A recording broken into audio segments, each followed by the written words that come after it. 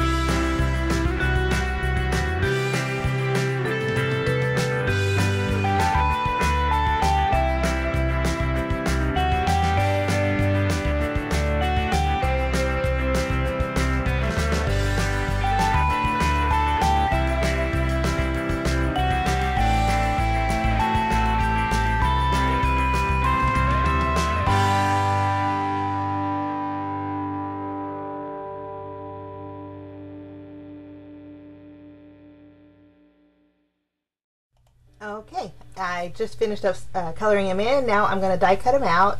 Now for my stash, I grabbed, I wanted a, um, a thought bubble um, for the sentiment, so I just grabbed one that fit. And I'm going to run all this through and cut everything out.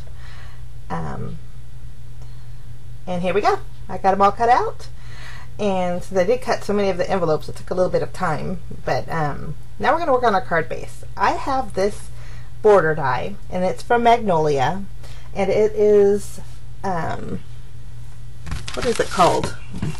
It's the cutest little die. It's called Wave Lace, and I thought it would make cute little clouds.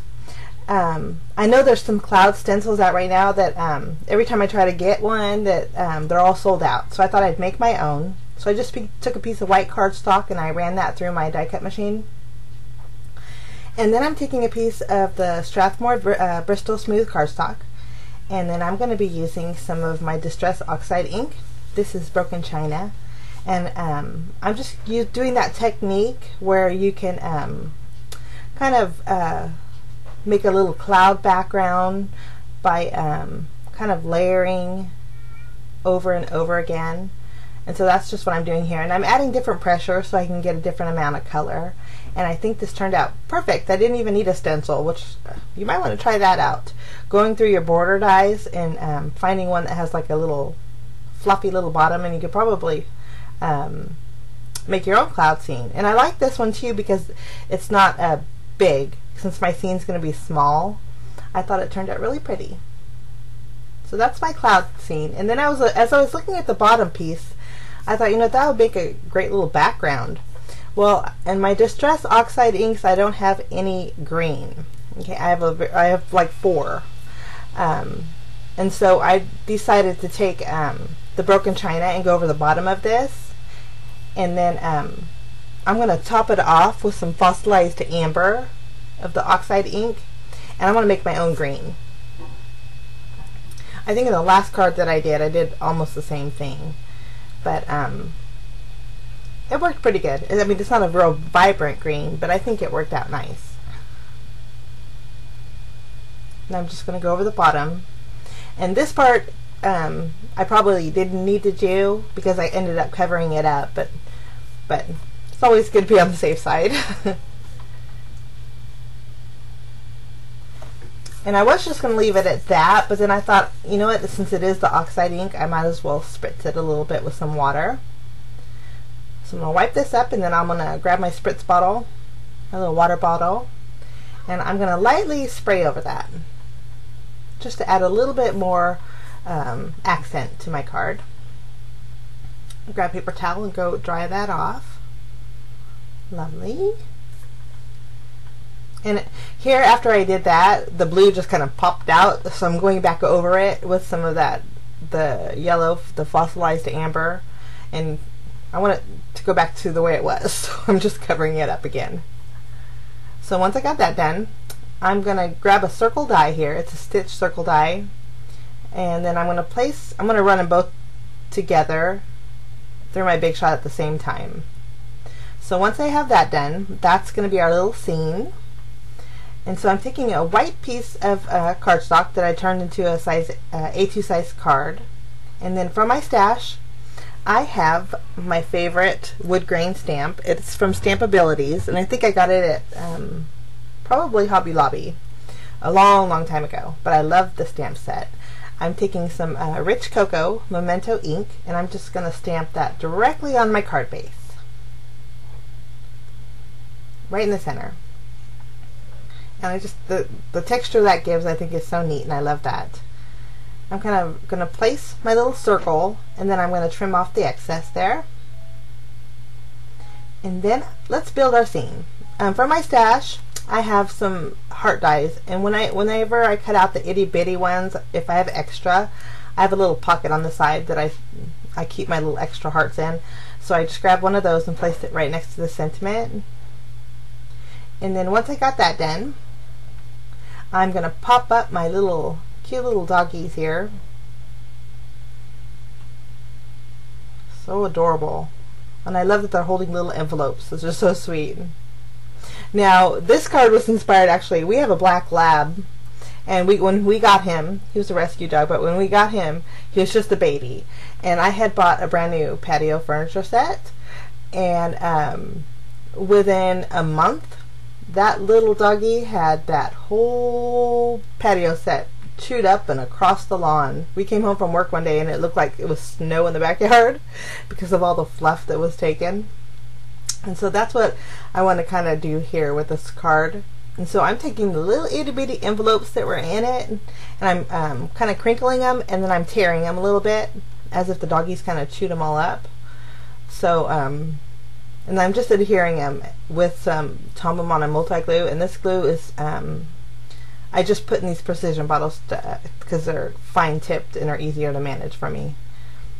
But I think this card turned out so cute. Um, if you any of you have puppies or had a puppy you know that they go through a chewing stage so I thought this would be a cute little card. So I'm just kind of tucking and placing them and then since I still have a little bit left over, I decided I'm going to pop my little scenery panel up with some foam tape. Okay, I'm just going to flip that over and I'm going to take the backing off of there and then I'm going to pop that up right on my card base. kind of towards the top part up there, maybe a little bit. Lovely. And then now I'm going to take those the extra envelopes that I had die cut. I'm going to tear them a little bit and I'm going to adhere those as well along with the little doggy bones just kind of in a pile as if they're kind of tearing that little pile up. and I think it turned out so cute. For, for finishing touches, I added some glossy accents to the little doggy's nose and then to their eyes. And then I also used my Nuvo crystal drops. These ones were um, white blizzard, and I added those to the hearts that they were um, on the envelopes that they were holding, and then also to the heart and the it. And that's it, guys. That is my Try It Out Tuesday card. I want to thank you so much again, as always, for joining me. Um, if you're new and like to see more, hit that subscribe button. And also, if you want to see close-up pictures, sometimes they they look a lot nicer when they're close up. You can check out um, close-up pictures on my blog at cardsandcoffeetime.com. And then on the end here, if you um, if you're interested, there's two more Try It Out Tuesday videos you might want to check out. Um, thanks so much for stopping by, and we'll catch you next time. Have a great day. Bye bye.